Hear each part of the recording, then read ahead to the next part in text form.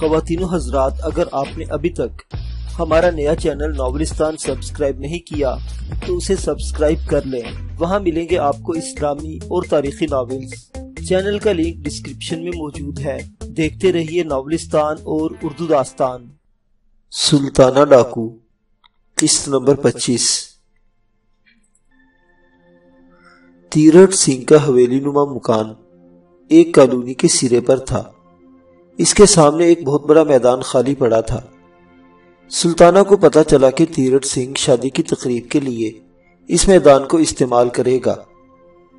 اس مقصد کے لیے رولز کے ذریعے میدان کو ہموار کیا جا رہا تھا۔ سڑک بنانے والے یہ انجن میدان کو ہموار بنا کر جاتے تو سقے آ کر پانی کی مشکوں سے چھڑکاؤ کرتے۔ میدان بہت بڑا تھا۔ رفتہ رفتہ اس کی زمین پکی سڑک جیسی بنائی جا رہی تھی۔ سلطانوں کو معلوم ہوا کہ اس میدان میں کئی بہت بڑے بڑے شامیانے لگائے جائیں گے، جن میں مقام و مرتبے کے حساب سے مہمانوں کو تقسیم کر دیا جائے گا۔ سب سے بڑا اور نہایت شاہانہ قسم کا شامیانہ دولہ دولن اور انتہائی اہم مہمانوں کے لیے مخصوص ہوگا۔ میدان کے ارد گرد کئی مکانات مہمانوں کے قیام کے لیے بھی خالی کرائے جائیں گے۔ میدان کی دوسری طرف سو ڈیڑھ سو کچے پکے مکانوں پر مشتمل ایک بستی تھی۔ اس میں حبورہ قبیلے کے لوگ آباد تھے۔ اس قبیلے کے جو لوگ اس بستی میں رہ رہے تھے، ان کی حیثیت بھی کسی حد تک قیدیوں جیسی ہی تھی۔ لیکن ان پر کوئی خاص سختی تو نہیں کی جاتی تھی۔ ان کی بستی کے گرد خاردار تاروں کا جنگلہ تھا اور انہیں بھی باہر جانے کے لیے پاس لینا پڑتا تھا۔ لیکن نجیب آباد کے قلعے میں رہنے والوں کے مقابلے میں یہ لوگ زیادہ آزاد تھے۔ انہیں معمولی درجے کے چورو چکے شمار کیا جاتا تھا۔ ان کے بارے میں کہا جاتا تھا کہ کسی عورت کی انگلی میں اگر سونے کی تنگ گٹھی ہوتی اور عورت خود بھی اسے آسانی سے نہ اتار سکتی، اسے کوئی حبورہ اتار سکتا تھا اور وہ بھی اس طرح کے عورت کو پتہ بھی نہ چلے۔ اس طرح کے کاموں میں حبورہ لوگ بے شک ماہر تھے، لیکن کوئی ہتھیار استعمال کرنا انہیں نہیں آتا تھا۔ چاقو یا خنجر تک استعمال نہیں کر سکتے تھے۔ در حقیقت وہ ہتھیاروں سے دور بھاگتے تھے۔ اس بستی میں رہنے والوں کا خرچ ایک طرح سے انگریز سرکاری اٹھا رہی تھی، تاکہ وہ لوگ چوری چکاری سے باز رہے سرکار نے ہر کنبے کو تھوڑی سی زمین دی ہوئی تھی، جس پر وہ کاشتکاری کرتے تھے۔ سرکاری افسران سے بیگار لینے کے لیے اکثر انہیں بلا لیتے تھے۔ شادی بیاہ اور ایسے دوسرے موقعوں پر وہ مختلف کاموں کے لیے انہیں بلا لیتے تھے۔ کئی کئی دن ان سے پر مشقت کام لیتے تھے اور کوئی معاوضہ دیے بغیر رخصت کر دیتے تھے۔ بعض بارسوخ بنیے بھی ایسا ہی کرتے تھے۔ البتہ وہ بڑی میٹھی زبان میں انہیں معاوضہ دینے کا وعدہ کرتے تھے۔ لیکن معاوضہ اگر ایک آنا روز طے ہوتا تھا تو کام کرانے کے بعد دو پیسے روز کے حساب سے دیتے تھے اور ان کے کاموں میں سو نقص نکال دیتے تھے۔ تیرٹ سنگھ نے بھی سرکاری ملازموں والی روایت برقرار رکھی تھی۔ اس بستی سے پچاس آدمی اس میدان میں کام پر لگے ہوئے تھے جہاں شادی ہونا تھی۔ انہیں جھاڑیاں صاف کرنا تھی۔ پتھر ہٹانے تھے۔ شامیانوں کے بانس گاڑنے کے لیے بہت بڑے گڑے کھودنے تھے۔ وہ لوگ روزانہ اس قسم کے کاموں کے سلسلے میں میدان میں آتے تھے۔ شام کو جب وہ واپس جانے لگتے تو تیرٹ سنگھ کے آدمی ان کی تلاشی لیتے کہ وہ کوئی ہتھوڑا، پھاوڑا یا رسی وغیرہ چرا کر تو نہیں لے جا رہے ہیں۔ میدان کی تیاری جب آخری مراحل میں تھی تو سلطانہ خود بھی ایک بار اس کا جائزہ لینے گیا۔ وہ بھیس بدل کر گیا تھا۔ اپنی گھنی اور باروں موچھیں اس نے تراش کر ہلکی کر لی تھی۔ چمکیلی کڑائی والی ایک سفید اچکن اور چوڑی دار پاجامہ پہنا تھا۔ پیروں میں سلیم شاہی جوتی تھی۔ سر پر سفید ململ کی دوپلی ٹوپی تھی۔ وہ مکمل طور پر ایک لکھنوی نوجوان دکھائی دیتا تھا۔ فرق صرف یہ تھا کہ اس کی جسمانی ساخت میں لکھنؤ والوں جیسی نزاکت نظر نہیں آ رہی تھی، لیکن اس طرف کسی کا دھیان جانا مشکل تھا۔ وہ گھوڑے کو حسب عادت اندھا دھون دوڑانے کے بجائے نہایت پرسکون انداز میں دلکی چال چلاتا وہاں سے گزرا اور خاصا چکر کاٹ کر میدان کے قریب سے ہی، لیکن دوسرے راستے سے واپس ہوا۔ اس دوران بہت سے لوگوں نے سر اٹھا کر اس کی طرف دیکھا، لیکن ان کی آنکھوں میں معمولی سے تجسس کے سوا کچھ نہیں تھا۔ ان میں سے کوئی سوچ بھی نہیں سکتا تھا کہ ان کے سامنے سے سلطانہ ڈاکو گزر رہا تھا۔ وہاں سے آنے اور جانے کے دوران سلطانہ کی اقابی نظروں نے پورے میدان اور اس کے گرد و پیش کا مکمل جائزہ لے لیا۔ اسے معلوم تھا کہ تیرٹ سنگھ اس وقت اپنے دفتر میں تھا اور اس کے شاید وہ گمان میں بھی نہیں ہوگا کہ سلطانہ اس کے گھر کے عین سامنے سے گزر سکتا تھا۔ میدان کے گرد خاردار تارے لگائی گئی تھی۔ صرف اس طرف نہیں لگائی گئی تھی جدھر حبوروں کی بستی تھی، کیونکہ اس طرف پہلے ہی خاردار تاروں کا جنگلہ موجود تھا۔ میدان میں بڑے بڑے شامیانے نصب کیے جا رہے تھے۔ پیٹرومکس لیمپ لٹکانے کے لکڑی کے کھمبے گاڑ دیے گئے تھے۔ اندر جانے اور باہر آنے کے لیے ایک ہی طرفہ دو راستہ تھا۔ اس کا رخ تیرٹ سنگھ کی حویلی کی طرف تھا۔ جس حد تک ممکن تھا سلطانہ صورتحال کا جائزہ لے کر ڈیرے پر واپس آ گیا۔ اس کا اندازہ تھا کہ شادی میں بارات سمیت کم از کم دو ہزار مہمان ہوں گے اور میدان کے ارد گرد حفاظت کے لیے سینکڑوں پولیس والے تعینات ہوں گے۔ اس سلسلہ میں سوا مشرہ کے لیے اس رات اس نے ایک بار پھر سب ساتھیوں کو اکٹھا کیا۔ سب سے زیادہ غور طلب سوال یہ تھا کہ اس میدان میں داخل کیسے ہوا جائے جہاں تقریب ہونا تھی۔ اگر وہ براہ راست تقریب پر دھاوا بولتے اور اچانک حملہ آور ہو جاتے تو بہت زیادہ خوریزی کا خطرہ تھا، جس میں اس کے اپنے بہت سے ساتھیوں کی جانے جا سکتی تھی اور یہ سلطانہ کو منظور نہیں تھا۔ کیوں نہ ہم بھی اچھے اچھے قیمتی کپڑے پہن کر بڑے لوگوں کے روپ دھار کر دوسرے مہمانوں کے ساتھ اندر پہنچ جائیں۔ صادق نے تجویز پیش کی۔ ہتھیار ہم اپنے کپڑوں میں چھپا کر لے جا سکتے ہیں یا پھر کانٹے دار تاروں کے پاس باہر کہیں چھپے ہوئے ہمارے کچھ ساتھی ایک خاص وقت پر ہمارے لیے اندر پھینک دیں گے۔ سلطانہ نے چند لمحے اس تجویز پر غور کیا۔ پھر غور سے سب کا جائزہ لیا۔ وہ اپنے بارے میں کسی خوش فہمی کا شکار نہیں تھا۔ لیکن وہ اس نتیجے پر پہنچا کہ وہ لوگ خواہ کتنے ہی قیمتی اور اچھے کپڑے پہن لے، لیکن دو آدمیوں کے سوا کوئی بھی شریف، معزز یا بڑا آدمی دکھائی نہیں دے سکتا تھا۔ ان میں سے ایک تو خود سلطانہ تھا اور دوسرا بھورا۔ باقی سب اچھے سے اچھے لباس میں بھی۔ اگر ڈاکو نہیں تو کم از کم مشکوک تو ضرور دکھائی دیتے۔ تاہم یہ بات اس نے اپنے ساتھیوں سے نہیں کہی۔ شاید اس سے ان کی دل شکنی ہوتی۔ اس نے کوئی اور وجہ بتا کر اس تجویز کو رد کر دیا۔ انہوں نے اس امکان پر بھی غور کیا کہ وہ میدان میں کام کرنے والے لوگوں میں سے کچھ کو لالچ دے کر وہاں سے غائب کر دیں اور ان کی جگہ خود ان کے گھروں میں رہنے لگے۔ سلطانہ کے ساتھیوں میدان میں کام کرنے والوں میں کچھ زیادہ فرق نظر نہیں آتا تھا۔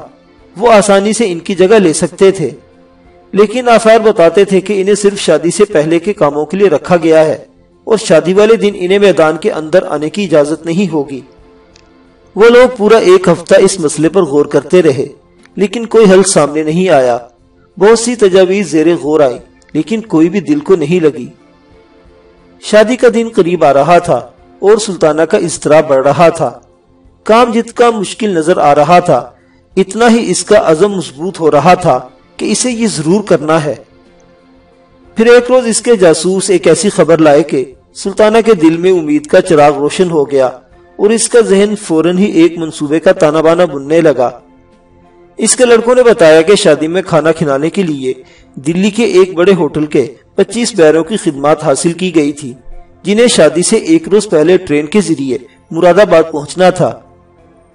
اس خبر کے ساتھ مزید کچھ ایسی باتیں سلطانوں کو معلوم ہوتی چلی گئی، جنہوں نے اس کے لیے منصوبہ بنانا کچھ آسان کر دیا۔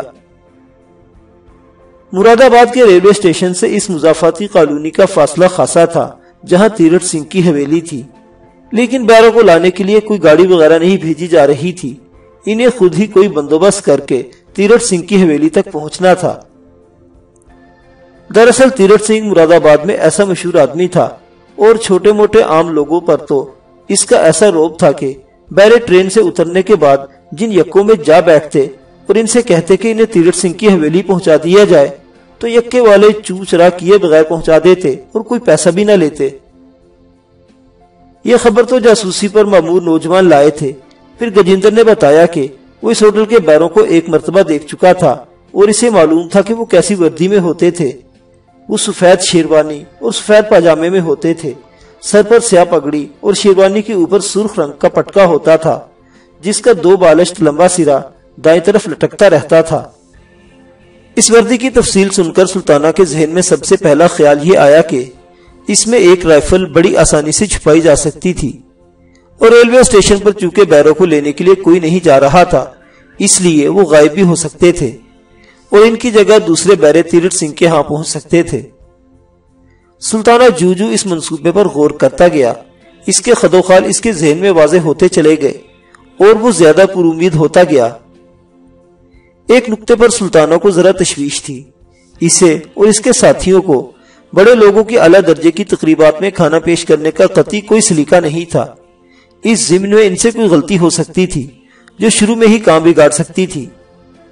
لیکن اس کی یہ تشویش اس وقت دور ہو گئی جب جاسوس لڑکوں میں سے ایک نے بتایا کہ ان بیروں کی مدد کے لیے مراد آباد کے ایک اچھے ہوٹل کے پچاس مقامی بیروں کو بھی آنا ہے۔ انہیں ایک طرح سے دلی والے بیروں کی ماتحتی میں کام کرنا تھا۔ لیکن سلطانہ نے فیصلہ کیا کہ وہ لوگ انہیں ماتحت بنانے کی بجائے انہی سے سارا کام لیں گے اور انہی کو دیکھ دیکھ کر خود بھی کام کرتے رہیں گے۔ منصوبے کی تفصیلات طے ہوتی رہی اور سلطانہ کا اعتماد بڑھتا رہا۔ ساتھیوں کے ساتھ صلاح مشورے سے سلطانہ کو بہت مدد ملی۔ ڈیوٹیاں تقسیم ہو گئی سب نے اپنے اپنے حصے کا کام اچھی طرح سمجھ لیا۔ دلی سے آنے والی میل ٹرین مراد آباد کے ریلوے اسٹیشن پر آ کر رکی تو پلیٹ فارم پر کچھ زیادہ افراد موجود نہیں تھے۔ تاہم جتنے بھی تھے، ان میں سلطانہ کے چار ساتھی، بھورے، صادق، سرجو اور نگیشر بھی شامل تھے۔ تاہم وہ باقی لوگوں سے ذرا ہٹ کر کھڑے تھے۔ ان کے کندھوں پر رائفلیں لٹکی ہوئی تھی اور کمر کے گرد گولیوں کی پیٹیاں بدی ہوئی تھی۔ اپنے لباس اور وضع قطع سے وہ کسی نواب یا ٹھاکر کے ذاتی محافظ دکھائی دے رہے تھے۔ انہوں نے جب ٹرین کے ایک کمپارٹمنٹ سے قطار کسی صورت میں بہت سے آدمی اترتے دیکھے تو وہ فوراً سمجھ گئے کہ وہی ان کے مطلوبہ لوگ ہیں۔ فی الحال وہ عام لباس میں ہی تھے۔ وہ اتر کے پلیٹ فارم پر ایک جگہ جمع ہو گئے اور ایک آدمی ان کی گنتی کرنے لگا۔ وہ ان کا سربراہ معلوم ہوتا تھا۔ اپنی لمبی اور گنی داڑھی کی وجہ سے وہ کافی حد تک بھورے سے مشابہ دکھائی دے رہا تھا۔ انہوں نے اپنے اپنے ٹرنک فرش پر رکھ لیے تھے اور پھر وہ آپس میں باتیں کرنے لگے۔ غالباً وہ اسٹیشن کی حدود سے باہر جا کر یکے کرائے پر لینے کا ارادہ کر رہے تھے۔ اسی لمحے بھورا اپنے تینوں ساتھیوں سمیت آگے بڑھا اور ان کے قریب پہنچ کر حت الامکان مہذبانہ لہجے میں بولا، بھائی صاحب، سراج الدین آپ ہی ہے نا؟ اس نے اس شخص کو مخاطب کیا تھا، جو باقی چوبیس افراد کا سربراہ معلوم ہوتا تھا۔ اس شخص نے ذرا چونک کر بھورے کی طرف دیکھا۔ وہ شاید بالکل توقع نہیں کر رہا تھا کہ مراد آباد کے ریلوے اسٹیشن پر صبح منہ دھیرے کو اس کے نام سے مخاطب کرنے والا بھی موجود ہوگا۔ جی ہاں میں ہی سراج الدین ہوں۔ اس نے شاید غیر ارادی طور پر سینے پر ہاتھ رکھ کر ذرا جھکتے ہوئے کہا بھورے کی شخصیت خاصی باروب تھی اور اس وقت وہ ملیشیا کی شلوار کمیز فوجی جیسی لال ٹوپی اور رائفل وغیرہ کے ساتھ اور بھی زیادہ باروب لگ رہا تھا۔ آپ لوگ دلی کے اوبرائے ہوٹل سے ہمارے مالک تیرٹ سنگھ جی کی بیٹی کی شادی میں کھانے کے انتظام میں ہاتھ بٹانے کے لیے آئے ہیں نا؟ بھورے نے مزید تصدیق چاہی۔ اس نے یہ مکالمے بولنے کی کافی مشق بھی کی تھی۔ جی جی۔ سراج الدین نے تیزی سے سر ہلایا۔ لیکن آپ اس نے سوالیہ انداز میں چاروں کو دیکھتے ہوئے جملہ ادھورا چھوڑ دیا۔ ہمیں مالک نے آپ کو لانے کے لیے بھیجا ہے۔ تشریف لائیے۔ باہر گاڑی کھڑی ہے۔ گھورے نے باہر کی طرف اشارہ کیا۔ مگر ہمیں تو بتایا گیا تھا کہ کوئی ہمیں لینے نہیں آئے گا۔ سراج الدین الجھن زدہ لہجے میں ذرا اٹک اٹک کر بولا۔ جی ہاں پہلے تو یہی طے ہوا تھا۔ گھورے نے سر ہلاتے ہوئے کہا، لیکن رات کو مالک کو خیال آیا کہ یہ کچھ اچھا نہیں لگ رہا۔ اب آپ چاہے شادی میں بیروں کے طور پر کام کرنے آئے ہیں، لیکن آپ کی حیثیت مہمانوں والی بھی تو ہے نا۔ اور پھر آپ کافی دور سے، دوسرے شہر سے آ رہے ہیں۔ اس لیے یہ اچھا معلوم نہیں ہوتا کہ کوئی آپ کو لینے اسٹیشن پر بھی نہ جائے۔ بس، پھر رات ہی انہوں نے ہمیں حکم دیا۔ ہماری ڈیوٹی لگا دی۔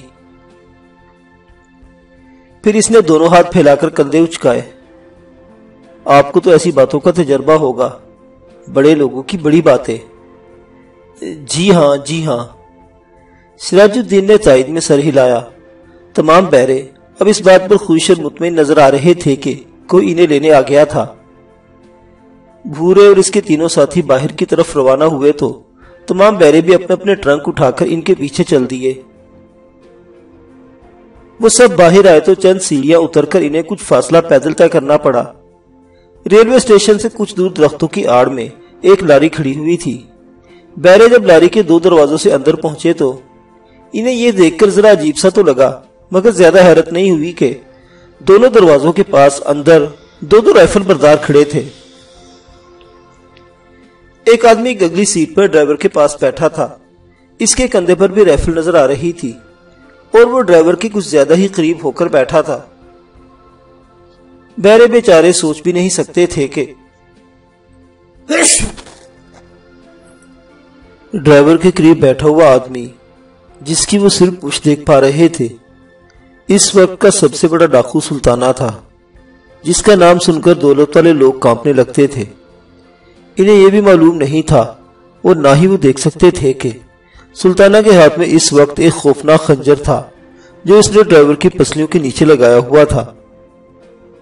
بیرے یہ بھی نہیں سوچ سکتے تھے کہ کالے اور سفید رنگ کی یہ لاری مراد آباد سے قریبی قصبوں کے لیے چلتی تھی اور اس وقت شہر سے باہر ایک سڑک پر چند مسافر اس کے انتظار میں کھڑے تھے۔ انہیں نہیں معلوم تھا کہ آج انہیں دگنا کرایہ دگنا انتظار کرنا پڑے گا۔ اس کے بعد اس کمپنی کی دوسری لاری میں انہیں جگہ ملے گی۔ سلطان اور اس کے ساتھیوں نے چند گھنٹے پہلے یہ لاری اس کے اڈے سے اغوا کی تھی اور چونکہ ان میں سے کوئی بھی بس کوئی اور گاڑی نہیں چلانی آتی تھی، اس لیے انہیں خنجر کی نوک پر ڈرائیور کو بھی ساتھ رکھنا پڑا تھا۔ بیرو نے سکون کی سانس لیتے ہوئے نشستیں سنبھال لی۔ وہ دل ہی دل میں اس بات پر بھی خوش تھے کہ انہیں خاصے اہتمام سے لے جایا جا رہا تھا۔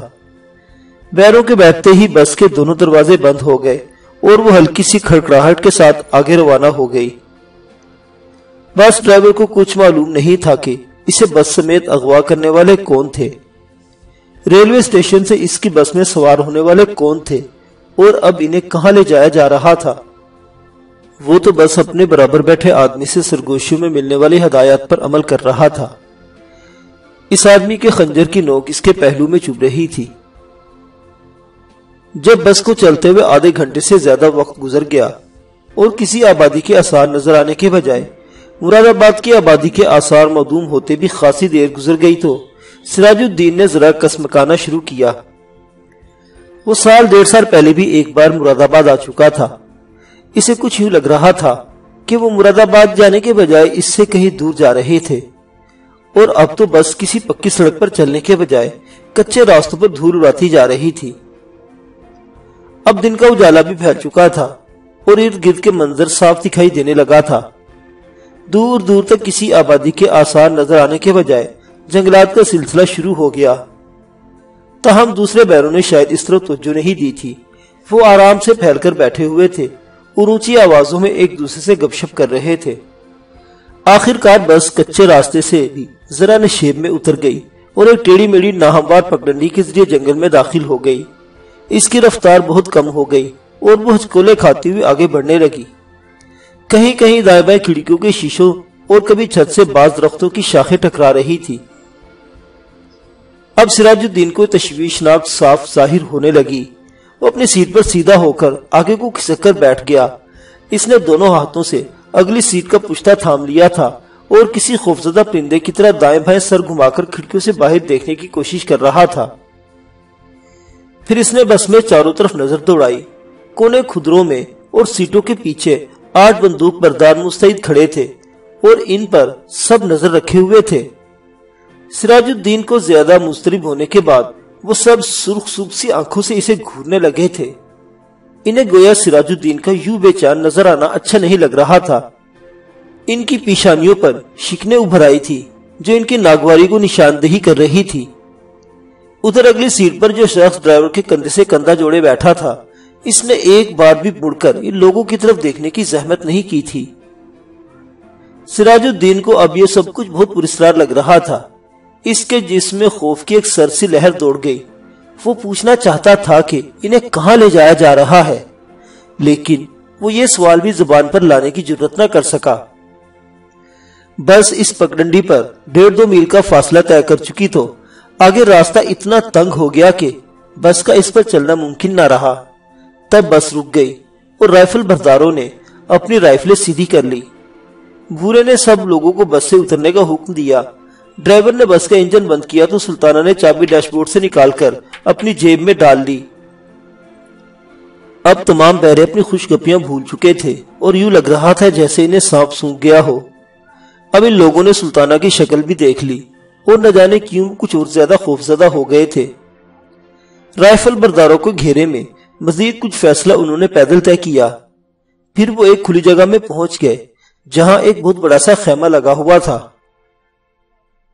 یہ آپ ہمیں کہاں لے آئے بھائی صاحب؟ سراج نے آخر لرزہ سی آواز میں پوچھ ہی لیا۔ فی الحال آپ اسے ہی تیرٹ سنگھ کی حویلی سمجھے بھورے نے خیمے کی طرف اشارہ کرتے ہوئے کہا۔ معزز سامعین کہانی ابھی جاری ہے۔ بقیہ واقعات اگلی قسط میں۔ دیکھتے رہیے اردو داستان۔ اللہ حافظ۔